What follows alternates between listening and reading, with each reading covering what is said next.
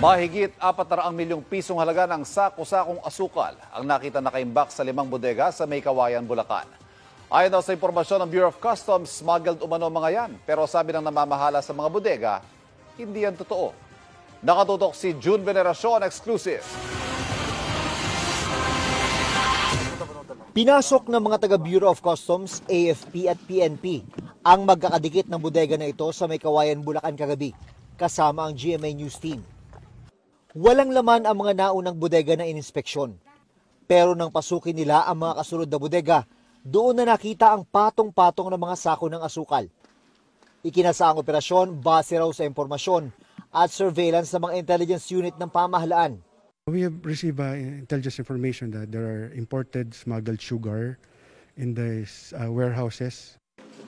Ayon sa team ng Customs na nagsagawa ng inspeksyon, limang bodega ang nakitaan ng nasa 88,000 na sako ng asukal na nagkakahalaga ng 440 milyon pesos. May mga sako pa raw ng asukal na lumang-luma na. Medyo nakakapagtaka lang po, kaya kasama rin po natin dito ang Armed Forces at ang CIDG para imbestigahan nga kung bakit uh, nagtatagal ito mga ganito, which is perishable naman. Hindi humarap sa kamera ang operations officer ng mga bodega. Pero sabi niya sa GMA News, hindi iligal ang kanilang pag-iimbak. Locally produced daw ang asukal na nasa kanilang mga bodega at para sa kanilang mga industrial at commercial clients.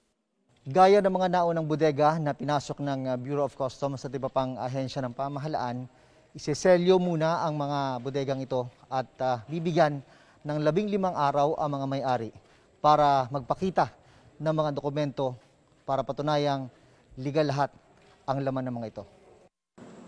Sa mga isusumiting dokumento at sa gagawing investigasyon, malalaman kung meron bang smuggled sa mga yan, sabi ng customs. Sabi naman ng operations officer ng mga bodega, nakakalungkot na sarado sila ngayon. Pero nakahanda raw silang magsumite ng mga dokumento sa customs.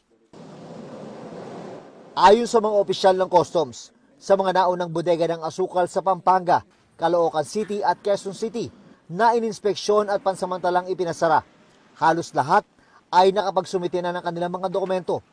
Sumasa ilalim pa sa validation at assessment ng customs sa mga ito.